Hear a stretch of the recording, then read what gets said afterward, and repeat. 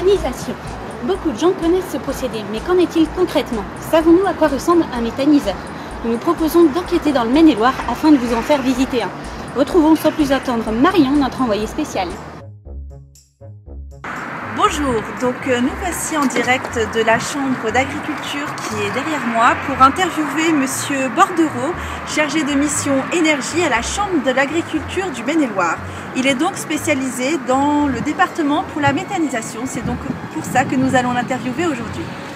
Euh, les projets individuels, donc à l'échelle d'une exploitation agricole, sont euh, très peu pour l'instant développés dans le département. Une seule exploitation agricole euh, utilise la méthanisation en propre sur euh, le site de l'exploitation. C'est au GAEC euh, du Bois-Brillant à Saint-Sigismond et c'est M. Thierry Laure qui en est le responsable. Donc l'objectif de Thierry Laure était de fournir de la thermie pour chauffer ses bâtiments volailles, pour chauffer l'eau pour ses veaux de boucherie, ainsi que quatre logements qu'il y a sur le site. Donc il utilise euh, la méthanisation en voie liquide depuis euh, maintenant deux ans et euh, a un moteur de 104 kW électrique pour faire la cogénération. Ainsi, nous décidons d'aller rencontrer Monsieur Thierry Laure. Mais avant, revenons sur le processus de la méthanisation avec Marion. La méthanisation est un procédé naturel permettant de valoriser les matières organiques en produisant une énergie renouvelable. La méthanisation commence avec la matière première, la biomasse. Ici c'est le lisier. Le lisier a un faible pouvoir méthanogène, c'est pour cela qu'on va rajouter des matières végétales qui vont en fait apporter l'énergie nécessaire euh, à la production de méthane par les bactéries contenues dans le lisier. Tout ça se fait dans l'unité de méthanisation. Et donc va en ressortir du digesta, donc de l'engrais pour euh, faire euh, les bandages des terres, et du biogaz qui va pouvoir être réinjecté euh, dans le réseau de gaz naturel, ou alors qui va pouvoir alimenter l'unité de cogénération qui produira de l'électricité et de la chaleur. Et donc ensuite, nous verrons vraiment qu'est-ce qui se passe dans l'unité de méthanisation avec Angela. Notre équipe arrive sur l'exploitation agricole de Thierry Laure pour visiter son unité de méthanisation. Voici euh, devant l'exploitation de Monsieur Thierry Laure, précurseur dans la méthanisation des lisiers de canards et de vaches dans la région du Maine-et-Loire. Suivez-nous, nous allons continuer. Donc le cœur de la méthanisation a lieu dans une cuve qui doit respecter certains paramètres favorables aux bactéries méthanogènes.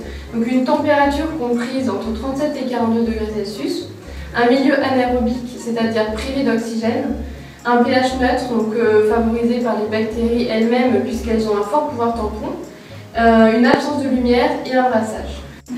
Donc on peut décomposer en trois étapes la production de méthane. Tout d'abord une hydrolyse et une acidogénèse à partir de matières organiques complexes qui va donner des acides organiques et des composés neutres. Ces acides organiques vont donner de l'acétate grâce à une étape d'acétogénèse il en est de même pour les composés neutres en dioxyde de carbone et d'hydrogène. Et enfin, euh, par une étape de méthanogénèse, une production de biogaz, le dioxyde de carbone et le méthane. Donc on a mis 6 ans à monter le projet, euh, de trouver l'installateur. Euh, dans, les pays de Loire, on était la première en, liquide, en méthanisation liquide. Il y a la méthanisation sèche qu'on appelle aussi, comme fait Denis Brosset à, la verrie, en Vendée. Donc lui, c'est qu'avec des fumiers des produits liquides, des produits euh, solides, pardon. Nous, c'est qu'avec des produits euh, liquides, avec une part de, je dirais, des fumiers, j'en mets plus, une part de, produits extérieurs, notamment des, tout ce qui est déchets de, de, biscuiterie, déchets de, céréales, d'énergie, il faut ramener d'énergie. Donc là, la cuve que je disais, hein, ça c'est la trémie d'incorporation des solides. Euh, donc ça c'est le local technique, donc dedans on a tout ce qui est, tout ce qui est automate, électricité et tout ce qui est pompe. Alors, c'est là-dessus que je fais mes rations. Hein. Donc moi j'incorpore à peu près euh, toutes les deux heures. On voit 12h, 14h, 16h, à peu près toutes les deux heures. Je fais à peu près 10 euh, incorporations par jour. On a une seule pompe qui prend le produit qui prend le produit des fosses, aidé par d'autres pompes dans chaque fosse. Parce que le lisier euh, des vaches traverse la route, hein, passe ici, arrive dans le local technique qui lui renvoie dans la cuve.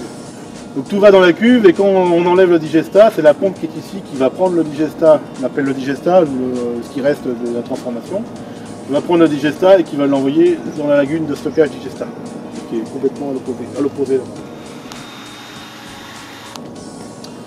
Donc là vous avez le local euh, cogénération où dedans vous avez le moteur, le moteur et, tous les échangeurs.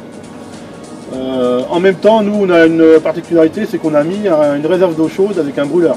C'est-à-dire que on n'a pas de torchère.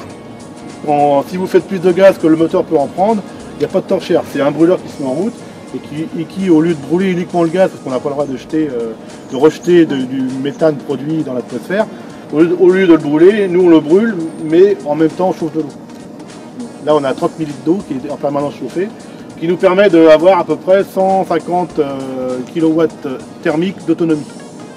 Qui fait que quand on a on a besoin de chaleur à l'instantané un, peu plus important que, 100, que de 100 kW, on a cette réserve-là. C'est l'avantage de, ça, l'inconvénient c'est que c'est un coût supplémentaire. Mais je trouve que assez, ça se rentabilise quand même. Il faut savoir que l'on chauffe euh, les deux bâtiments volailles, les deux bâtiments de canard, avec, un système d'aérotherme. Donc tout est en eau chaude, hein. l'eau chaude est rebalancée dans les, bâtiments. Vous avez des grands boîtiers, des, échangeurs avec un ventilateur derrière. Là c'est pareil, il y a un échange de, de, calories qui se fait, soit circuit primaire et secondaire. C'est un système de chauffage central que vous avez dans n'importe quelle maison, c'est le principe. Donc on chauffe l'eau de buvée des veaux, là on a 200 veaux, et puis euh, 4 maisons dans le, village. Donc euh, l'électricité qui est produite ici est renvoyée dans le local de raccordement, qui après est renvoyée au niveau du réseau on, suit le cycle naturel en l'aidant. Va être des un plus important, mais quelque part on se rapproche de ce que c'est normalement. Une vache mange de l'herbe, elle bouse. Euh, la bouse est retransformée, euh, l'herbe récupère la, la, bouse qui est transformée pour refaire, du, végétal qui, repart dans la, gueule de la vache, assez Et derrière on fait du lait, on fait de la viande. C'est ainsi que s'achève notre émission. Je vous remercie de l'avoir suivi et à très bientôt pour de prochaines aventures.